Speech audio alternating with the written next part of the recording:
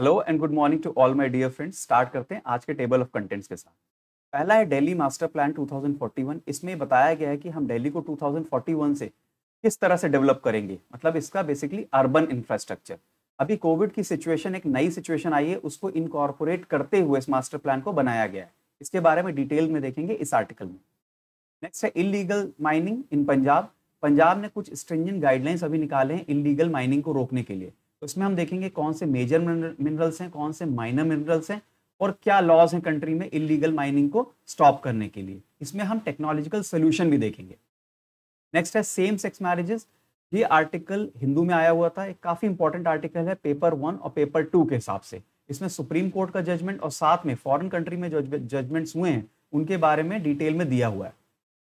Next है H T B T cotton seeds तो क्या है ये एस कॉटन सीड्स इंडिया में कौन सी ऐसी अथॉरिटी है जो इसको अप्रूव करती है? ये सारी चीज़ें हम इस आर्टिकल में देखने वाले हैं। इसके अलावा और कौन से ट्रांसजेनिक क्रॉप्स हैं जो इंडिया ने अप्रूव किए हुए हैं? ट्रांसजेनिक क्रॉप होते क्या हैं? ये सारी चीज़ें इस आर्टिकल में। नेक्स्ट है मैनेजिंग टेपर टैंट्रम यूएस में इकोनॉमी की ग्रोथ बढ़ गई है। इस वजह से वहाँ का अकोमोडेटिव जो स्टैंड है मतलब जैसे वहाँ का आरबीआई इंडिया में आरबीआई है, वैसे ही वहाँ पर सेंट्रल बैंक है, वो जो है कुछ स्टेप्स लेने की आ, सोच रहा है वो क्या स्टेप्स हैं उसका क्या इम्प्लीकेशन होने वाला है इंडियन गवर्नमेंट पे और आ, और भी डोमेस्टिक कंपनीज़ पे ये चीज़ें हम इस आर्टिकल में देखेंगे। नेक्स्ट है स्टूडेंट एक्टिविस्ट सुप्रीम कोर्ट ने हाई कोर्ट की बेल जो उन्होंने ग्रांट की थी हाई कोर्ट ने अभी बेल ग्रांट कर दी थी स्टूडेंट एक्टिविस्ट को तो सुप्रीम कोर्ट ने इंटरफेयर करने से मना कर दिया है। थोड़ा सा इसके बारे में भी हम जानेंगे। एज ऑलवेज एमसीक्यू क्वेश्चंस मैं डिस्कस करूँगा आपसे डिस्कशन के दौरान ही। और आपको कमेंट बॉक्स में भी आंसर्स लिखने हैं। तो स्टार्ट करते हैं दोस्तों। देखिए ये मास्टर प्लान 2021 की uh, 2041 की बात की गई है दिल्ली में। इसमें क्या चीज़ है? देखिए इसमें इंफ्रास्ट्रक्चर जो है हम किस तरह से डेवलप करेंगे? अर्थक्वेक फायर्स फ्लड्स और अदर डिजास्टर्स को रोकने के लिए। ऐसा नहीं कि 2041 प्लान से पहले ऐसा प्लान नहीं था। अर्थक्वेक फायर्स फ्लड्स और डिजास्टर्स को रोकने के लिए। पहले से प्लान बनाया गया था कि बिल्डिंग्स इस लेवल से ऊँची नहीं हो सकती हैं, ठीक है? इतनी डेंसिटी नहीं हो सकती पॉपुलेशन की इस एरिया में, ठीक है? या मटेरियल क्या यूज़ करना है बिल्डिंग बनानी है? तो इस तरह की चीज़ें पहले भी आ चुकी हैं, लेकिन पहली बार पैंडेमिक और कोविड लाइक सिचुएशन को भी इंक्लूड किया जा रहा है मास्टर प्लान में, ठीक है? इसके बाद ये प्लान क्या कह रहा है बेसिकली वो चीज़ हम डिस्कस करने वाले हैं mix use development with work centres homes and other facilities in close proximity of each other. देखिए, कोविड 19 में क्या हुआ था, जब लॉकडाउन हुआ था तो लोगों के मूवमेंट पे काफ़ी रिस्ट्रिक्शंस लगा दी गई थी। इसलिए अब ये जो प्लान डेवलप कर रहे हैं, वो इस हिसाब से डेवलप कर रहे हैं कि जिस बंदे का घर जहाँ पर है, उसी के आसपास उसका ऑफ़िस भी हो, ठीक है? और उसी के आसपास आपके शॉपिंग वगैरह सेंटर्स जो हैं मॉल्स हो गए, ये सारी चीज़ें भी हों, ताकि मोबिलिटी को रोका जा सके। और इससे क्या क्लाइमेट भी जो प्रिजर्व होगा। तो यहाँ पर यही बोला गया है मिक्स यूज़ डेवलपमेंट इसका मतलब ये है कि अगर हम कोई एरिया ईयर मार्क करते हैं, मान लीजिए हमने हंड्रेड एकर्स का एरिया ईयर मार्क किया तो उसमें से से फिफ्टी जो परसेंट हमने रेजिडेंशियल एरिया को दे दिया फिफ्टी परसेंट हमने कमर्शियल को दे दिया, उसमें से भी हमने ऑफ़िस और जो आपके मॉल्स हैं, उनको इक्वल इक्वल डिविजन कर लिया। ठीक है? तो इसको बोलते हैं मिक्स्ड यूज़ डेवलपमेंट ठीक है? फिर को वर्किंग स्पेसिस का कल्चर बहुत ज़्यादा आ रहा है। आप न्यूज़ में भी देख रहे होंगे। रादर देन एक सेपरेट ऑफ़िस होता है, एक ऑर्गेनाइजेशन के लिए। कई ऑर्गेनाइजेशन मिल करके एक ऑफ़िस स्पेस को शेयर कर सकती हैं। तो इससे क्या होगा कि जगह की कमी नहीं पड़ेगी दिल्ली में। अभी जगह की कमी बहुत ज़्यादा है, बहुत ज़्यादा रेट्स हाई रहते हैं। ये सारी चीज़ें इससे सॉल्व हो जाएँगी। फिर support for home based work जैसे अब हम सभी लोग वर्क फ्रॉम होम कर रहे हैं तो ये आगे से इसको इंस्टीट्यूशनलाइज करने की कोशिश कर रहे हैं कि वर्क फ्रॉम होम हो सके। इस तरह के काम को हम डिमार्केट कर सकें डिलिमिट कर सकें, ठीक है? फिर अगर ऐसी कोई सिचुएशन आती है कोविड लाइक तो क्या होगा? रिफ्यूजी स्पॉट्स बनाए जाएँगे कॉमन किचन और क्वारंटीन स्पेसेस अभी आपको पता होगा कि कोविड नाइन्टीन सिचुएशन में स्कूल्स को कन्वर्ट कर दिया गया था स्पेसेस में, जहाँ पर टेम्पररी हॉस्पिटल्स बना दिए गए थे, ठीक है? कोविड केयर सेंटर्स बनाए गए थे। तो ये तो एक मेकशिफ्ट अरेंजमेंट था, ये पहले से प्लान नहीं था, लेकिन अब प्लान वे में इस चीज़ को करने की कोशिश की जा रही है। कि हम एक रिफ्यूजी स्पॉट्स कॉमन किचन और क्वारंटीन स्पेसेस ज़रूर बनाएँ। उसके बाद है multi facility plots multi facility plots का मतलब क्या हुआ? मिक्स यूज़ मिक्स यूज़ का मतलब क्या हुआ? जैसे कम्युनिटी सेंटर बना दिया। अब वो कम्युनिटी सेंटर मैरिज के काम भी आएगा, वो इलेक्शंस के काम भी आएगा क्वारंटीन के काम भी आएगा और बहुत सारी चीज़ों के काम आएगा। तो ऐसी ऐसी बात नहीं है कि ऐसी चीज़ नहीं है अभी, लेकिन अभी ये प्लानिंग फ़ेज़ में नहीं है। अभी कम हुआ है। तो 2041 के मास्टर प्लान में इस चीज़ को काफ़ी ज़्यादा वैल्यू दी जा रही है। आगे देखते हैं। एडिक्वेट अफोर्डेबल रेंटल और हाउसिंग ओनरशिप हाउसिंग ऑप्शंस देखिए क्या हो रहा है अभी अभी क्योंकि कॉस्ट और प्राइसिंग बहुत ज़्यादा है दिल्ली में तो क्या होता है छोटी छोटी छोट जगह पे बहुत सारे लोग रहते हैं। जो डेंस एरिया है, वो बहुत ज़्यादा डेंस है और जो डेंस नहीं है, वो बिल्कुल ही डेंस नहीं है स्पार्स पॉपुलेशन है वहाँ पर। ठीक है? तो यहाँ पर ये एडिक्वेट अफोर्डेबल रेंटल और हाउस ओनरशिप हाउसिंग की बात की गई है, ताकि पॉपुलेशन को प्रॉपरली स्कैटर किया जा सके। ऐसा ना हो कि बहुत ज़्यादा डेंस कोई एरिया हो और बहुत स्कैटर्ड कोई एरिया हो, ठीक है?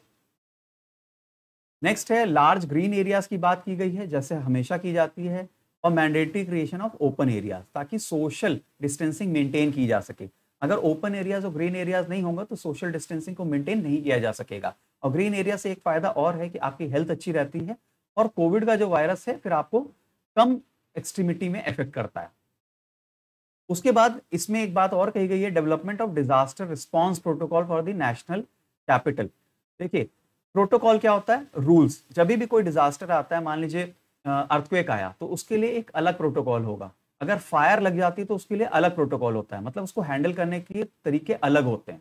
ठीक है? तो यहाँ पर ये क्या कर रहे हैं कि डिफरेंट टाइप ऑफ़ डिजास्टर जिसमें कोविड भी होगा, इन सबको अलग अलग इन सब के प्रोटोकॉल बनेंगे उनको ट्रेन किया जाएगा लोगों को उसके हिसाब से। ठीक है? इसके साथ साथ एक चीज़ और है एसेंशियल सर्विसेज़ इफ़ेक्ट ना हो, इसके लिए भी इस प्लान में प्रोविज़न रखा जाएगा। आगे चलते हैं दोस्तों। देखिए, पंजाब गवर्नमेंट ने अभी स्ट्रिंजेंट गाइडलाइंस बनाई है टू कर्ब इलीगल माइनिंग आपको इलीगल माइनिंग का मतलब तो पता ही होगा। जैसे क्या होता है, आपको सैंक्शन किया गया कोल को माइन करने के लिए। लेकिन आप उसके साथ साथ बॉक्साइड को करने लग गए, या आपको कुछ मिलियन टन जो मिलियन टन हैं, वो प्रिस्क्राइब किए गए थे कि इससे ज़्यादा आप कोल नहीं निकाल सकते। तो आप उससे ज़्यादा कोल निकालने लग गए। या कोई एरिया डिफाइन किया गया था जहाँ से आप कोल निकालेंगे, लेकिन आप उसके एडजेसेंट एरिया से निकालने लग गए। तो ये सारी चीज़ें इलीगल माइनिंग होती हैं, ठीक है? तो पहले हम देख लेते हैं मेजर और माइनर मिनरल्स क्या होते हैं। मेजर और माइनर मिनरल्स वो होते हैं। आपको एक पता होगा M M D M M D R act of 1957 होता है। ये सेंट्रल गवर्नमेंट ने एक लॉ बनाया था इलीगल माइनिंग से निपटने के लिए और माइन और मिनरल डेवलपमेंट के लिए, ठीक है? इसको अमेंड किया गया था 2015 में। तो ये दोनों चीज़ें आपको याद होनी चाहिए। M M D R act of 1957 and M M D R amendment act of 2015 ठीक है? अब इसमें हम देखते हैं मेजर और माइनर मिनरल्स कैसे डिफाइंड है। मेनली ये जो M M D R act of 1957 है, इसमें माइनर मिनरल्स डिफाइंड होते हैं माइनर नॉट मेजर प्रिलिम्स के पॉइंट ऑफ़ व्यू से काफ़ी इंपॉर्टेंट चीज़ है। तो माइनर मिनरल्स क्या होते हैं? जो उसके शेड्यूल में डिफाइन होते हैं। कोई मिनरल अगर माइनर मिनरल की डेफिनेशन में नहीं आता तो बाय डिफ़ॉल्ट वो मेजर मिनरल कहा जाता है। ठीक है दोस्तों? तो आप समझ गए होंगे कि माइनर मिनरल को डिफाइंड किया जाता है और जो चीज़ डिफाइंड नहीं होती, वो ऑटोमेटिकली मेजर मिनरल बन जाती है। ठीक है? अच्छा मेजर मिनरल के मामले में मेन पावर यूनियन और सेंट्रल गवर्नमेंट को होती है, ठीक है?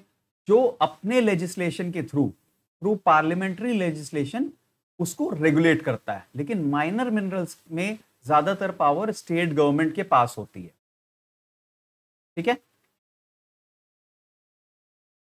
अब देखते हैं पंजाब ने क्या किया। पंजाब ने ये किया है कि जो भी कैरियर जिस व्हीकल से भी आप माइनिंग माइनिंग मटेरियल को ले जा रहे हैं, उसका रजिस्ट्रेशन होना ज़रूरी है। रजिस्ट्रेशन मतलब आरटीओ में नहीं registration under M M D R act 1957 और उसको परमिट भी होना चाहिए। रजिस्ट्रेशन और परमिट दोनों चीज़ें उसके पास होनी चाहिए। फिर, इन सारे ट्रक्स में जीपीएस होना चाहिए। जीपीएस किस लिए होना चाहिए? For real time tracking GPS एक ऐसी टेक्नोलॉजी है जिससे हमको पता लग जाता है कि वो ट्रक कहाँ से कहाँ मूव कर रहा है, कौन से टाइम में मूव हुआ। तो स्पेस और टाइम दोनों हमको पता लग जाता है अगर हम जीपीएस यूज़ करते हैं। तो एक बहुत इंपॉर्टेंट टेक्नोलॉजी है ये। आप मेंस के आंसर में इसको कोट कर सकते हैं। कहीं पर भी अगर ऐसा क्वेश्चन आता है कि what is the solution for curbing the illegal mining you can say this GPS is very good technology and it takes care of both spatial and temporal movement of the vehicles इसके अलावा जिस vehicle से mining होती है, जैसे कोल निकाल रहे हैं, कोई चीज़ निकाल रहे हैं, उसमें भी आप जीपीएस लगाएँगे। और वो सारे जो हैं, आपके रजिस्टर्ड होने चाहिए on the website online portal बनाया गया, उस पर सारी चीज़ें रजिस्टर्ड होनी चाहिए। ठीक है दोस्तों तो प्रीलिम्स में इसमें आपसे क्वेश्चन बन सकता है कि major minerals are defined M D R act 1957 this statement is false ठीक है? Minor minerals is defined in the M M D R act 1957 yes it is correct तो प्रीलिम्स में इस तरह के क्वेश्चन बन सकते हैं। मेंस में आपसे इस तरह से पूछ सकते हैं कि how to curb the illegal mining in India तो उसमें आप जीपीएस वगैरह का मेंशन कर सकते हो यहाँ पर करियर का मेंशन कर सकते हैं कि रजिस्ट्रेशन वगैरह होना चाहिए। आगे चलते हैं। एक नेशनल मिनरल पॉलिसी 2019 है ये भी काफ़ी इंपॉर्टेंट है तो प्रीलिम्स में अगेन पॉइंट ऑफ़ व्यू से इंपॉर्टेंट है कि नेशनल मिनरल पॉलिसी 2018, 19, 20 ये सारी चीज़ें पूछी जा सकती हैं। देखिए इसमें क्या क्या प्रोविजंस थे? पहली चीज़ रेवेन्यू शेयरिंग मॉडल आपके मेंस में आपके revenue sharing model production sharing model इस तरह के कई सारे मॉडल्स हैं। तो रेवेन्यू शेयरिंग मॉडल का ये होता है कि जब भी कोई कंपनी या कोई लीजी जो है, माइनिंग करती है, जब उसको मार्केट में वो बेचती है मटेरियल को तो उसमें से कुछ शेयर गवर्नमेंट को देना पड़ता है। उसको बोलते हैं रेवेन्यू शेयरिंग मॉडल जब तक वो बेचती नहीं मार्केट में, तब तक उसको गवर्नमेंट को कोई भी शेयर देने की ज़रूरत नहीं है। लेकिन प्रोडक्शन शेयरिंग मॉडल में ऐसा नहीं होता। अगर वो प्रोड्यूस करती है तो उसका, उसे कुछ पार्ट गवर्नमेंट को देना पड़ता है। ठीक है? उसके बाद क्या है? ट्रांसफ़र ऑफ़ माइनिंग लीजेस, पहले ऐसा नहीं होता था। मान लीजिए कंपनी ए है और किसी वजह से उसकी फाइनेंशियल हेल्थ अच्छी नहीं है या उसके पास टेक्नोलॉजिकल सोल्यूशन नहीं है तो वो माइनिंग कंपनी बी को नहीं दे पा रही नहीं दे पाती थी। ट्रांसफ़र नहीं कर पाती थी अपने परमिट को। लेकिन अब ऐसा हो सकेगा कि कंपनी ए जो है, कंपनी बी को ट्रांसफ़र कर सकती है, ठीक है माइनिंग लीजेस उसके अलावा डेडिकेटेड मिनरल कॉरिडोर्स बनाने की भी बात की गई है, ताकि ऐसा ना हो कि उसके बाहर जाकर के इलीगल माइनिंग किया जा सके। और इसको मॉनिटर करना भी इजी है, क्योंकि आपको पता है कि इसी एरिया में माइनिंग होनी है तो उसको मॉनिटर कर सकते हैं आप आसानी से। फिर ई गवर्नेंस और आई टी इनेबल्ड सिस्टम्स का भी प्रोविज़न रखा गया। अभी हमने देखा कि पंजाब गवर्नमेंट ने कैसे ऑनलाइन रजिस्ट्रेशन की बात की है और जीपीएस सोल्यूशन यूज़ किया है इलीगल माइनिंग को कर्व करने के लिए। तो यहाँ पर इस चीज़ की भी बात की गई है 2019 पॉलिसी में। फिर एक बहुत इंपॉर्टेंट चीज़ है प्रिलिम्स के पॉइंट ऑफ़ व्यू से डिस्ट्रिक्ट मिनरल फंड तो डिस्ट्रिक्ट मिनरल फंड क्या होता है? जैसे मान लीजिए कोई कंपनी जाकर के माइनिंग करती है किसी एरिया में, मान लीजिए छत्तीसगढ़ में गई है झारखंड में गई तो वहाँ से जो पैसा कमाया जाएगा, उसमें से कुछ पैसा डिस्ट्रिक्ट में एक फंड बनाया गया under the chairmanship of district magistrate तो उस फंड में ये कंपनी पैसा डालेगी कुछ और उस फंड में जो भी पैसा आएगा, उससे जो लोकल पॉपुलेशन है वहाँ की, उसका डेवलपमेंट किया जाएगा। ठीक है? उसको बोलते हैं डिस्ट्रिक्ट मिनरल फंड ये प्रीलिम्स के पॉइंट ऑफ़ व्यू से दोस्तों काफ़ी इंपॉर्टेंट है। उसके बाद जो एक और है सस्टेनेबल डेवलपमेंट इन माइनिंग अभी इसमें क्या किया गया inter ministerial body to institutionalise the mechanism for ensuring sustainable development मतलब एक मिनिस्टीरियल मीटिंग मिनिस्टीरियल बॉडी भी बनाई जाएगी, जो कि डिसाइड करेगी कि किस तरीके से माइनिंग होनी चाहिए ताकि एक लिमिट में माइनिंग हो और वो सस्टेनेबल हो। ठीक है दोस्तों? आगे चलते हैं। देखिए, ये जो है आपको पता होगा L G B T Q I A plus community होती है। इनके बारे में आर्टिकल है। तो इसमें क्या बताया हुआ है कि marriage right to same sex आपको पता होगा 2018 में सुप्रीम कोर्ट ने ऑर्डर निकाला था जिसमें सेक्शन 377 को इन्होंने डीक्रिमिनलाइज कर दिया था। इस सेक्शन 377 में क्या होता था कि same sex was prohibited but supreme court nullified this law this IPC section ठीक है? लेकिन वहाँ पर मैरिज की बात नहीं की गई थी। सुप्रीम कोर्ट ने मैरिज को अलाउ नहीं किया था। ना डिसअलाउ किया था, ना अलाउ किया था। तो अब ये बात हो रही है कि क्या सेम सेक्स जो सेम सेक्स पार्टनर्स हैं, वो क्या मैरिज कर सकते हैं? तो ये आर्टिकल जो है, इस चीज़ को फेवर करता है। पहले मैं आपको ये बता देता हूँ। फिर इन्होंने कुछ आर्ग्यूमेंट्स दिए हैं देश दुनिया के, जिसके बेसिस पे ये बोलता है कि हमें सेम सेक्स पार्टनर्स को मैरिज का राइट्स दे देना चाहिए। तो देखते हैं क्या चीज़ है। पहला इन्होंने बोला है कि 2005 में constitutional court of South Africa ने जो है इस राइट्स को दे दिया था। मतलब सेम सेक्स की मैरिजेस हो सकती हैं। तो ये एक इंपॉर्टेंट चीज़ है मेंस के पॉइंट ऑफ़ व्यू से। आप मेंस में इस इसको अगर आप कोर्ट करते हैं कि साउथ अफ्रीका में 2005 में कॉन्स्टिट्यूशनल कोर्ट ने ऐसा कहा था तो your answer quality becomes good आपको एक नंबर या डेढ़ नंबर इसमें ज़्यादा मिल जाएगा और यही मैटर करता है। मेन्स में अगर आपको क्वालिफाई करना है। नहीं तो सबको बराबर मिलेगा तो आप कैसे एज पाएँगे उसमें? इस तरीके से अगर आप जजमेंट्स कोट करेंगे तो आपको एज मिल जाएगा मेंस के आंसर में। ठीक है? 2015 में supreme court of United States ने भी ऐसा ही कुछ किया था। They decided that the fundamental right to marry is guaranteed to same sex couples तो आप इसको भी कोट कर सकते हैं अपने एग्ज़ाम में। ठीक है? प्रिलिम्स में ये क्वेश्चन नहीं पूछा जाएगा। मेंस में पूछने के चांसेस ज़्यादा हैं। इंडिया में क्या हुआ था? इंडिया में जो तीन लॉज हैं Hindu marriage act 1955 Indian Christian marriage act 1872 and Muslim personal law application act 1937 ये इंडिया में लॉ हैं मैरिजेस को लेकर के। इसके अलावा इंडिया में एक और लॉ है स्पेशल मैरिजेस एक्ट जो यहाँ पर लिखा नहीं हुआ है, लेकिन होता है। तो ये प्रिलियम्स के पॉइंट ऑफ़ व्यू से इंपॉर्टेंट क्वेश्चन है। ठीक है दोस्तों? अभी अभी एक ऑर्डर आया था हाई कोर्ट का, वो मैं आपको बता देता हूँ।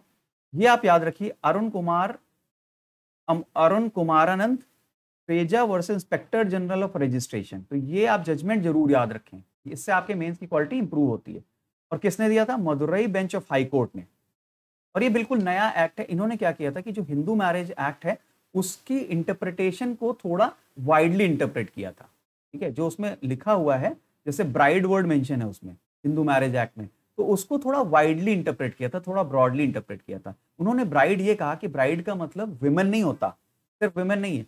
उसका मतलब ट्रांस वुमेन भी हो सकता है और intersex person identifying as women भी हो सकता है। तो इन्होंने इस डेफिनेशन को ब्रॉडन करके देखा और इस हिसाब से इन्होंने अपना जजमेंट दिया था। आगे चलते हैं। देखिए, सुप्रीम कोर्ट ने भी इस जजमेंट में Shafin Jahan versus Ashokan KM KM ये जजमेंट्स बहुत इंपॉर्टेंट है। आप इसमें से अगर चार नहीं तो कम से कम एक दो जजमेंट्स आप ज़रूर याद रखें। इन्होंने उसमें क्या कहा था कि मैरिज जो है, वो कोर जोन ऑफ़ प्राइवेसी के अंदर आती है। मतलब तो राइट टू प्राइवेसी आपको पता होगा, एक फंडामेंटल राइट डिक्लेयर कर दिया गया है सुप्रीम कोर्ट के द्वारा। तो ये जो राइट टू प्राइवेसी इसके अंडर आती है इंटीमेसीज ऑफ़ मैरिज ठीक है? And society has no role to play in determining our choice of partners मतलब हमारा पार्टनर कोई भी हो सकता है मैन भी हो सकता है वुमेन भी हो सकती है। It is our choice society has nothing to do with it and it is purely in the core zone of privacy तो इस बेसिस पे भी ये आर्टिकल ये कह रहा है कि इनको मैरिज मैरिज का राइट right दे देना चाहिए।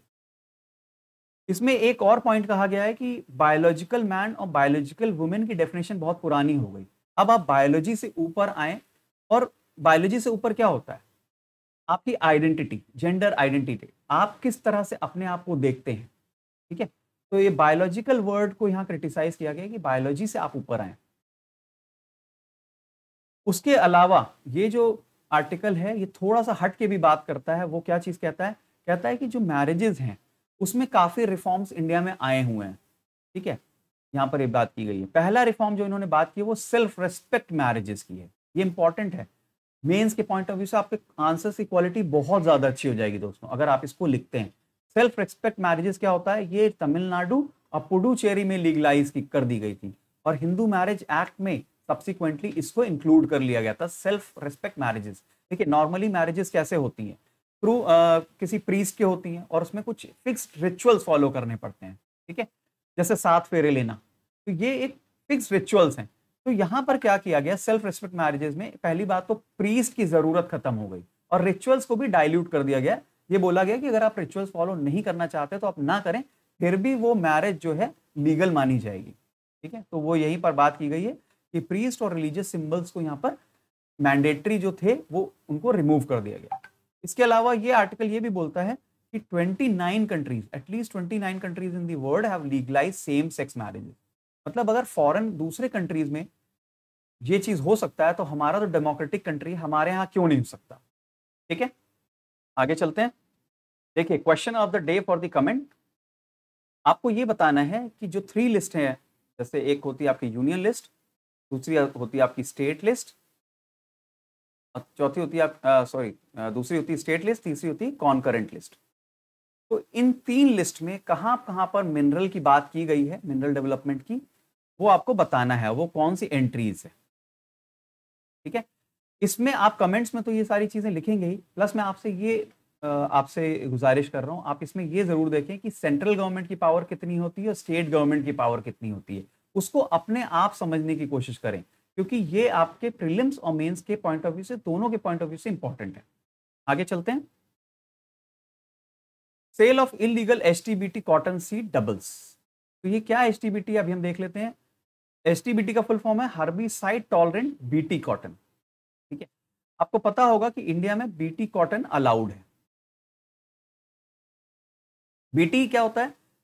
बीटी होता है आपका एक इंसेक्टिसाइड जिससे बचाने के लिए कॉटन के सीड में हम जीन्स डालते हैं। ठीक है? बीटी कॉटन क्या होता है? ट्रांसजेनिक क्रॉप है। ट्रांसजेनिक क्रॉप का मतलब क्या हुआ? कि हम दूसरी जगह से जीन्स लेकर के आए और उस जीन को हमने जो नेटिव कॉटन था कॉटन का सीड था, उसके अंदर डाल दिया। और ये हमने इसलिए किया ताकि जो इंसेक्टिसाइड्स इफ़ेक्ट करते थे कॉटन की प्लांटिंग को, वो इफ़ेक्ट ना कर पाए। ठीक है?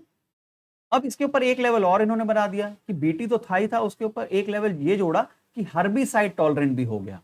ठीक है? हर्बीसाइड्स भी जो होते हैं, वो प्लांट्स के लिए यूजफुल नहीं होते हार्मफुल होते हैं। तो उसको कंट्रोल करने के लिए हर्बीसाइड टॉलरेंट जीन डाला गया डाला गया। ठीक है? तो अब इसको क्यों मना क्या, किया जा रहा है? आपने देखा यहाँ इलीगल लिखा हुआ है तो लीगल तो है नहीं। तो इलीगल क्यों है? क्योंकि इन्वायरमेंटल और इकोनॉमिक कॉन्सिक्वेंसेज हैं इसके। इन्वायरमेंटली ये सस्टेनेबल नहीं है, ठीक है? कुछ फैक्ट्स देखते हैं। BT cotton is the only transgenic crop that has been approved by the centre for commercial cultivation India तो ये प्रीलिम्स के पॉइंट ऑफ़ व्यू दोस्तों बहुत इंपॉर्टेंट है कि which of these crops have been approved by the centre for commercial exploitation in India तो उसमें सिर्फ़ BT cotton is the right answer और मैंने आपको पहले बता दिया कि इंसेक्टिसाइड को कंट्रोल करने के लिए बीटी कॉटन आया था और बीटी का मतलब ही वही होता है।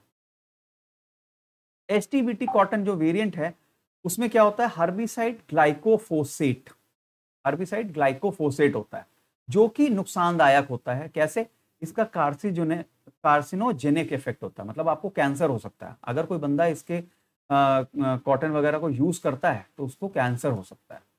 दूसरी चीज़ क्या होगा कि नियर बाई प्लांट्स में पॉलिनेशन और सुपर वीड्स की प्रॉब्लम बढ़ जाएगी।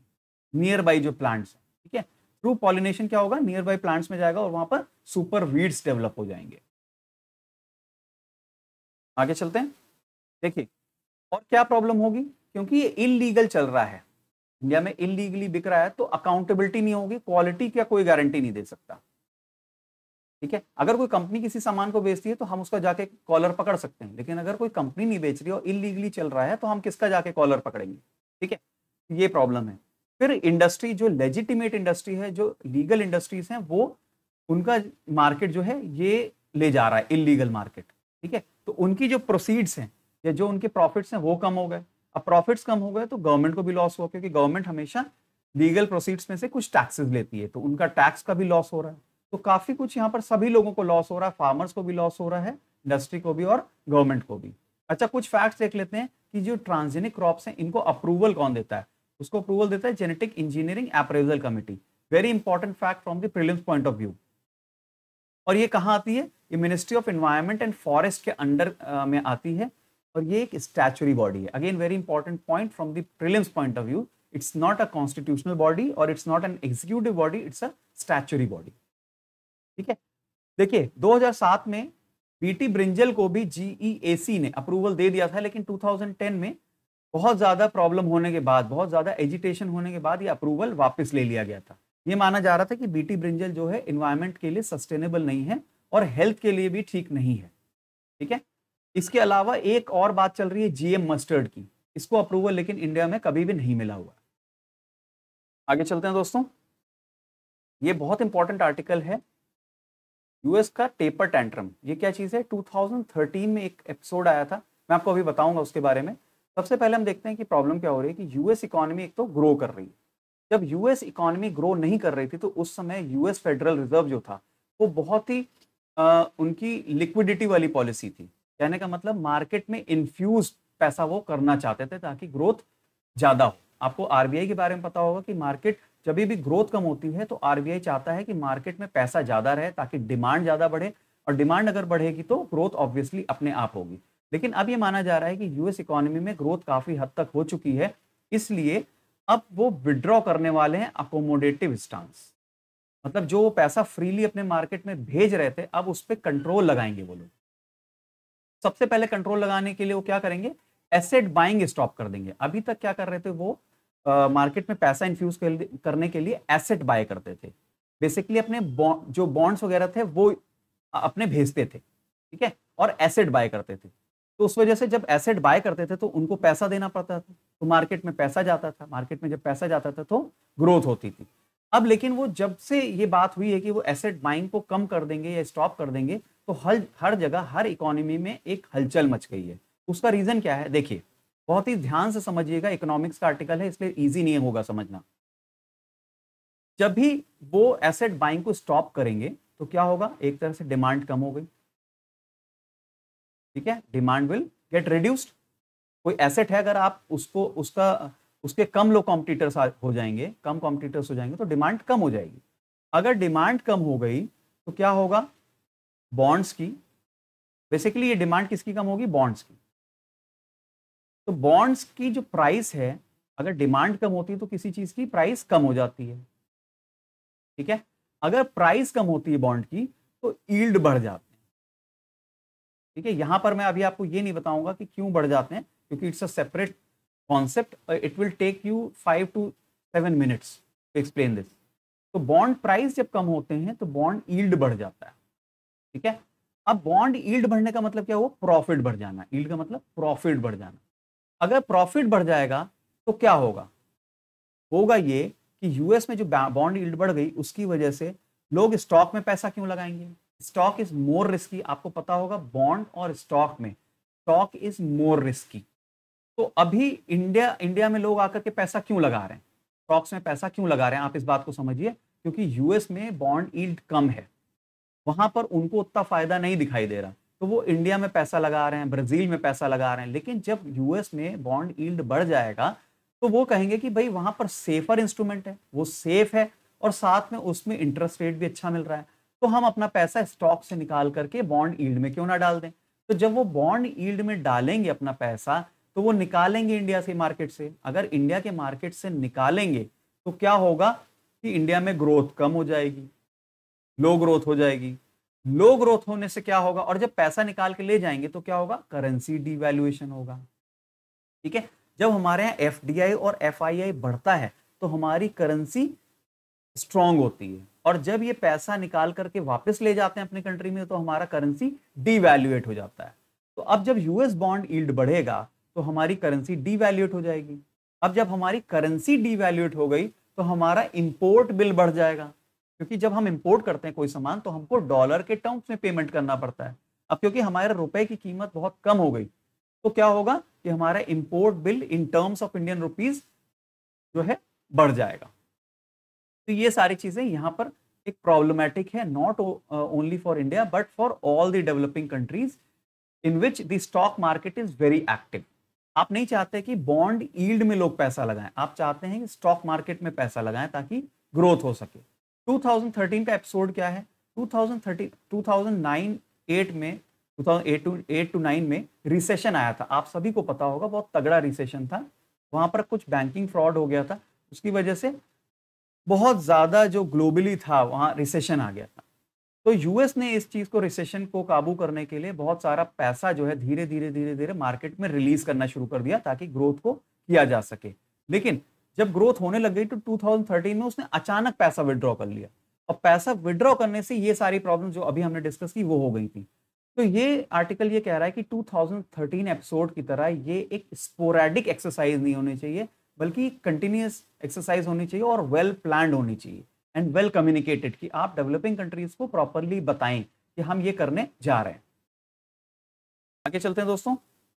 सुप्रीम कोर्ट ने हाई कोर्ट की रूलिंग पे इंटरफेयर करने से मना कर दिया। ठीक है, ये न्यूज़ हमारे लिए इंपॉर्टेंट नहीं है। न्यूज़ हमारे लिए इंपॉर्टेंट ये है, मैं आपके लिए एक एक्सरसाइज छोड़ रहा हूँ। सिटीजनशिप अमेंडमेंट एक्ट क्या है? ठीक है, उसकी आपको डिटेल्स जाननी है। ये प्रिलिम्स के पॉइंट ऑफ़ व्यू से काफ़ी इंपॉर्टेंट चीज़ है। ठीक है दोस्तों? आई होप आज का लेक्चर आपको पसंद आया होगा। एंड अपने आंसर्स कमेंट बॉक्स में लिखना प्लीज़ मत भूलिएगा। Thank you so much